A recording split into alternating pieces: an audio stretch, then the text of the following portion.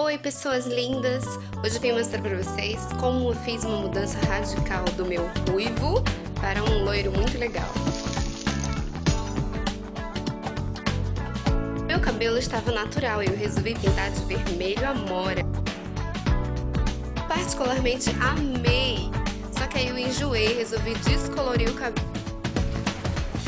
Eu já esperava que ele fosse ficar laranja, mas eu tinha meus truques.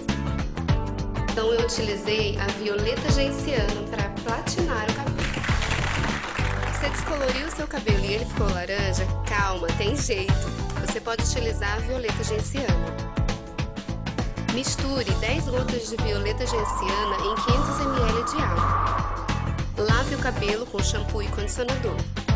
Enxague bem e enxugue um pouco para tirar o excesso da água. Então, despeje a violeta genciana em todo o comprimento do cabelo e espere de 20 a 30 minutos. O resultado vai ser um cabelo platinado e lindo, tanto na forma cacheada como no cabelo liso. Você pode manter esse brilho e essa tonalidade do cabelo adicionando a violeta genciana no seu shampoo, condicionador e creme de pentear.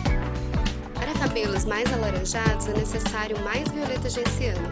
Eu espero que vocês tenham gostado do vídeo e a minha meta é no loirão total. Depois, quando eu fizer, eu mostro pra vocês. Um abraço, até o próximo vídeo.